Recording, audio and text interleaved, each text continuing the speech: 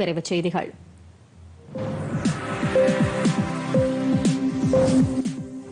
புதுக்கோட்டை மாவட்டத்தில் பயனாளிகளுக்கு மாடி தோட்ட காய்கறி தொகுப்பு காய்கறி விதைத்தலை தொகுப்பு மற்றும் ஊட்டச்சத்து தோட்ட தொகுப்புகளை மாநில சட்டத்துறை அமைச்சர் ரகுபதி வழங்கினார் புதுக்கோட்டை மாவட்ட ஆட்சியர் அலுவலகத்தில் மாவட்ட ஆட்சியர் கவிதா ராமு தலைமையில் நடைபெற்ற நிகழ்ச்சியில் பங்கேற்ற அமைச்சர் பயனாளிகளுக்கு இரண்டு லட்சம் காய்கறி தலை தொகுப்புகளை வழங்கி திட்டத்தை தொடங்கி வைத்தார் பின்னர் கந்தர்வக்கோட்டை மற்றும் குளத்தூர் தாலுகாக்களில் நடைபெற்ற அரசு நிகழ்ச்சிகளிலும் அமைச்சர் ரகுபதி கலந்து கொண்டார்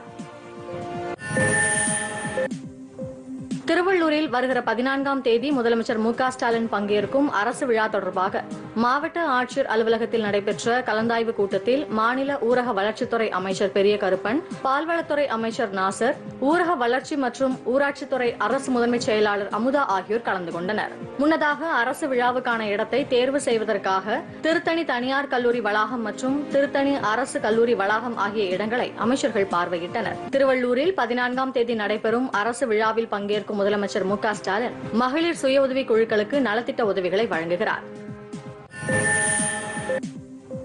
பெரம்பலூர் மாவட்ட ஆட்சியர் அலுவலகத்தில் மாற்றுத்திறனாளிகள் நலத்துறையின் சார்பில் நடைபெற்ற நலத்திட்ட உதவிகள் வழங்கும் விழாவில் மாநில பிற்படுத்தப்பட்டோர் நலத்துறை அமைச்சர் சிவசங்கர் பங்கேற்று இருநூற்று நாற்பத்தி மூன்று பயனாளிகளுக்கு ஒரு கோடியே இருபத்தி ஐந்து லட்சம் ரூபாய் மதிப்பிலான நலத்திட்ட உதவிகளை வழங்கினார் பெரம்பலூர் அரசு தலைமை மருத்துவமனையில் ரத்த அணுக்களின் எண்ணிக்கையை கண்டறியும் இயந்திரத்தை பொதுமக்கள் பயன்பாட்டிற்கு தொடங்கி வைத்த அமைச்சர் சிவசங்கர் ஊராட்சி மன்ற புதிய அலுவலக கட்டிடத்தையும் திறந்து வைத்தார் இதேபோன்று அரியலூர் மாவட்டம் செந்துறை ஒன்றியத்திற்குட்பட்ட இரும்புலிக்குறிச்சி என்ற கிராமத்தில் ஒரு கோடியே எழுபத்தி இரண்டாயிரம் ரூபாய் மதிப்பீட்டில் கட்டப்பட்டுள்ள புதிய சார் பதிவாளர் அலுவலக கட்டிடத்தையும் அமைச்சர் சிவசங்கர் திறந்து வைத்தார் தமிழ்நாட்டில் பிளாஸ்டிக் பயன்பாட்டை தவிர்த்து சுற்றுச்சூழலை பாதுகாக்கும் வகையில் மீண்டும் மஞ்சள் பை திட்டத்தை முதலமைச்சர் மு ஸ்டாலின் தொடங்கி வைக்க உள்ளதாக மாநில சுற்றுச்சூழல் துறை அமைச்சர் மெய்யநாதன் தெரிவித்துள்ளார் புதுக்கோட்டை மாவட்டம் ஆலங்குடி அருகே மரமடக்கி என்ற இடத்தில் செய்தியாளர்களிடம் பேசிய அமைச்சர் மஞ்சள் பை பயன்பாட்டை அதிகரிக்க மாநிலம் முழுவதும் விழிப்புணர்வு பிரச்சாரம் மேற்கொள்ளப்படும் என்றார் இந்த விழிப்புணர்வு பிரச்சாரத்தில் பள்ளி கல்லூரி மாணவர்களும் அனைத்து துறை அரசு பணியாளர்களும் பங்கேற்று மக்கள் இயக்கமாக கொண்டு செல்ல வேண்டுமென அமைச்சர் மெய்யநாதன் கேட்டுக்கொண்டார்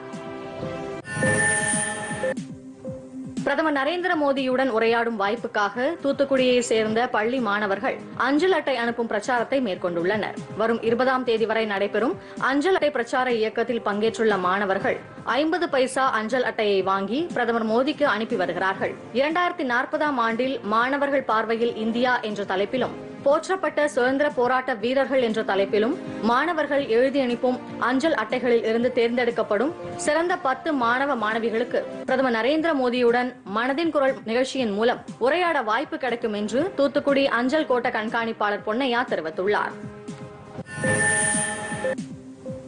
இந்தியாவிற்கு வரும் சர்வதேச பயணிகள் சுலபமாக பயணத்தை மேற்கொள்ளும் வகையில் கடந்த ஆகஸ்ட் மாதம் ஏர் சுவிதா வலைதளம் உருவாக்கப்பட்டது பயணிகள் தங்களது விவரங்களை சுய உறுதிமொழியுடன் தெரிவிக்க இது வகை செய்கிறது மத்திய சிவில் விமான போக்குவரத்து மற்றும் மத்திய சுகாதார அமைச்சகங்களின் விதிமுறைகளுக்கு ஏற்ப இது செயல்படுகிறது பயணிகள் தடுப்பூசி போட்டுக் கொண்டது ஆர்டிபிசிஆர் பரிசோதனை உள்ளிட்ட விவரங்களை இந்த வலைதளத்தில் அளித்தால் அவர்கள் உள்ளூரில் தங்கியிருப்பதை எளிதில் கண்டுபிடிக்க முடியும் இந்த வலைதளத்தில் விவரங்களை அளிக்கும் பயணிகள் வரிசையில் நின்று நேரத்தை வீணடிக்க வேண்டியது இல்லை என்பது குறிப்பிடத்தக்கது